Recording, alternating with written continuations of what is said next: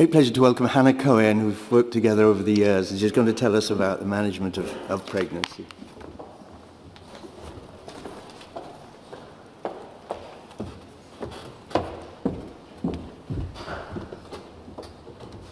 Thank you, Graham. Good afternoon, ladies and gentlemen. Oh, wonderful. Thank you.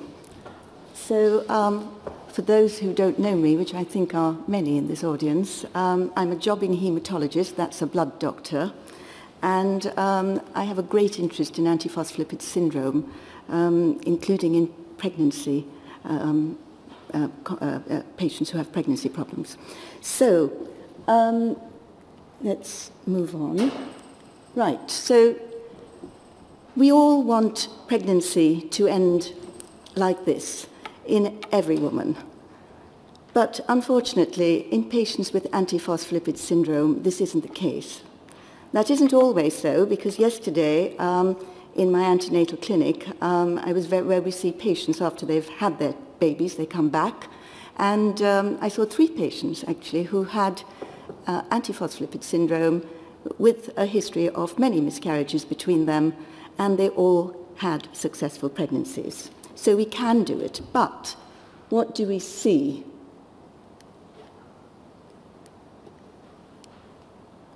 So, pregnancy in antiphospholipid syndrome looks a bit like this. We see early miscarriages, i.e. in the first 12 weeks, and that occurs um, most commonly. Um, so 15% um, of women who have recurrent miscarriages, which is three or more consecutive miscarriages, have antiphospholipid syndrome.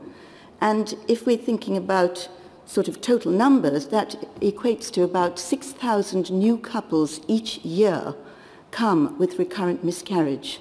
So that's a huge problem. Um, and what happens here is that time and time again, they just do not um, get beyond 12 weeks. We may also see late miscarriages.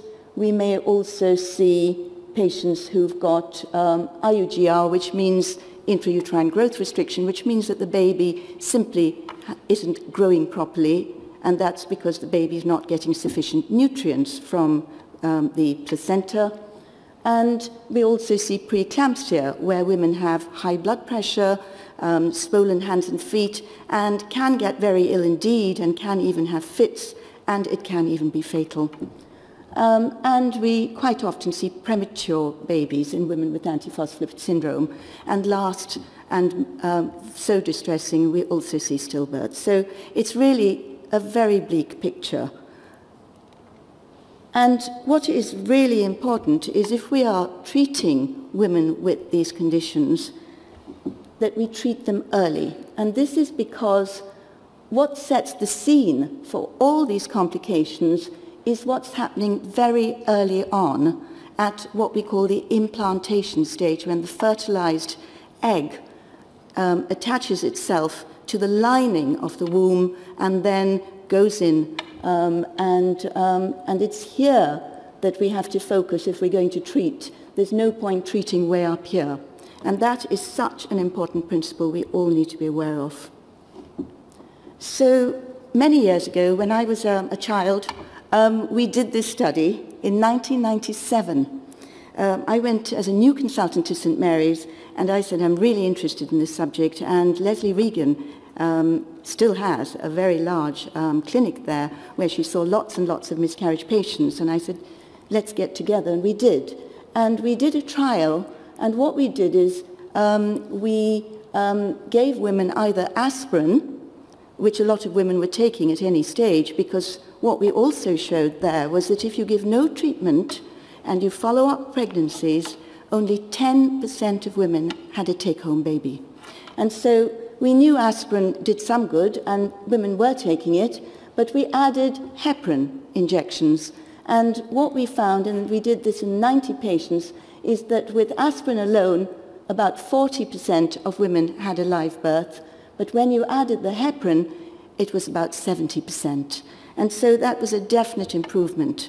Um, so there's one group in which we wouldn't do this, and that is women who've already had thrombosis, because in such women, you've got to give them a big dose of heparin, uh, because here we were using quite a small dose.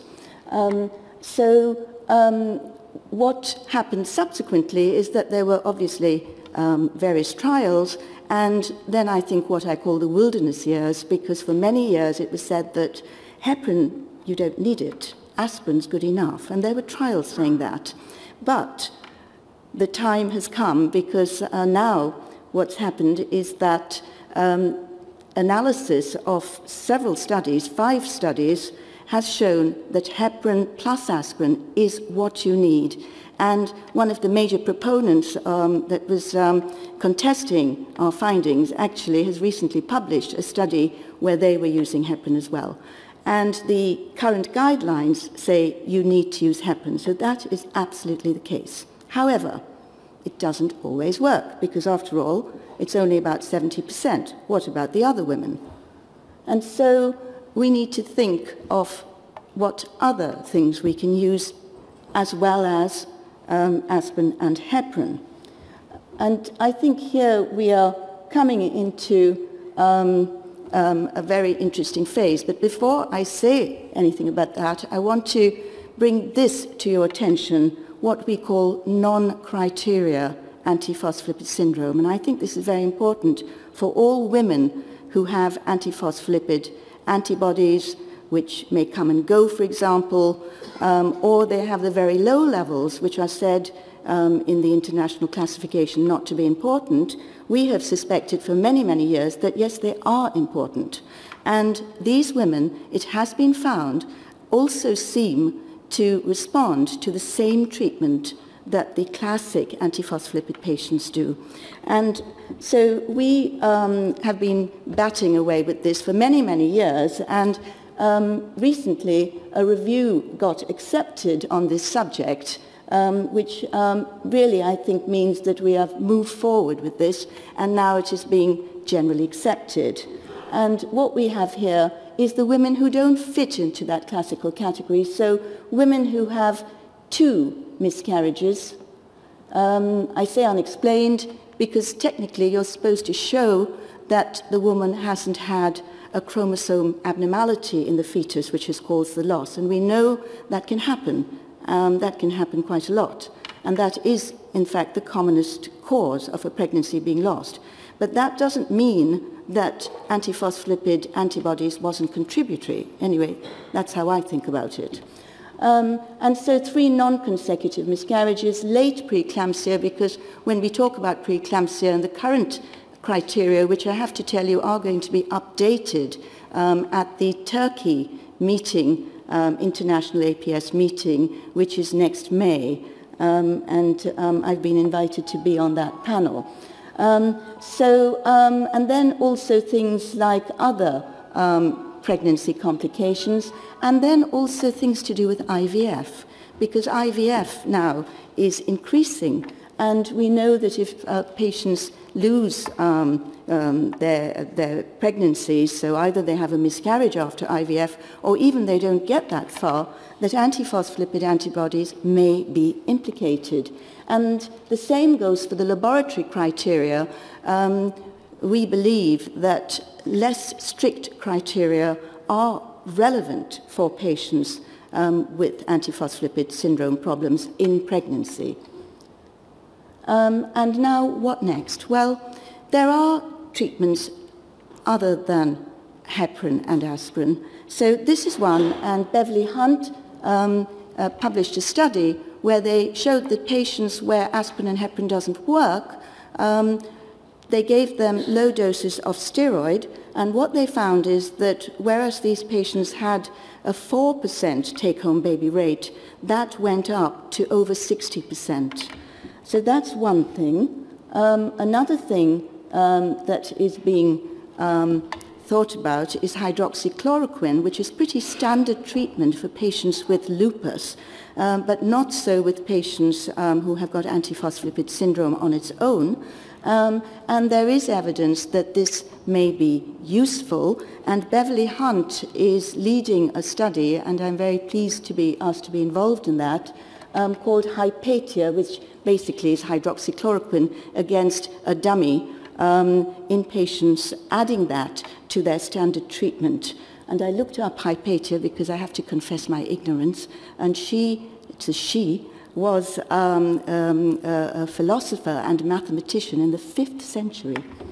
Um, so, um, and the other thing is complement. Well, complement's there to protect us from invading infections. Um, but we know that antiphospholipid antibodies can actually trigger off a complement response, and that can actually lead to problems like miscarriage. And there's a lot of work suggesting this in experimental studies in animals, for example, um, and there is some work suggesting it even in people. And so complement is something that's really of great interest, and um, I am participating in, a, in an international study where we're looking at the effects of a complement inhibitor, but not in patients who are pregnant at this stage. Uh, but nevertheless, we're very pleased the company has chosen antiphospholipid syndrome to test their drug out on because we, we never know. We may be able to get to pregnancy in the future. Um, so I simply wanted to end up with um, mentioning to you what Graham alluded to, the um, APS Action, um, which is an international group which has now over 25 centres internationally, um, where what we're trying to do is network. And so we know that it's hard to do these antiphospholipid studies, but if you collaborate, you can. And, and so we're all trying to work together to do this. And this was our last meeting in Boston um, last December um, or November. And um, well, whilst not all the important people in antiphospholipid syndrome are there, we are very pleased that quite a number of people um, have, have, you know, have, have got involved um, with, with this um, group. So I think I'll end there. So thank you very much. And, uh,